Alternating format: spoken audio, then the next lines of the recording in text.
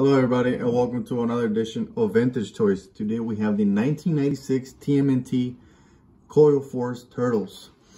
I'll explain why they were called Coil.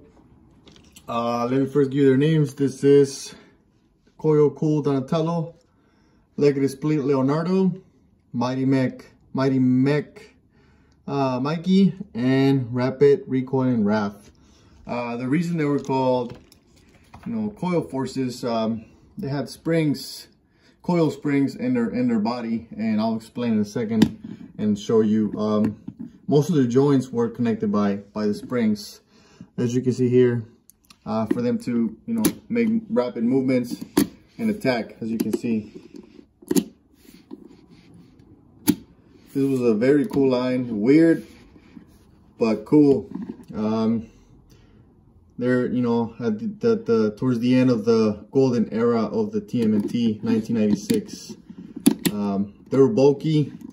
Um, they just they were buff. You can see their veins here on their arms. Just ready to go. Let me show you the coils.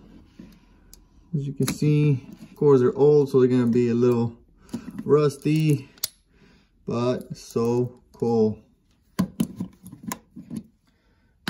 Here's Mikey. Probably my favorite from the four. Just ready to go and, you know, kick the bad guys and beat them. All that good stuff.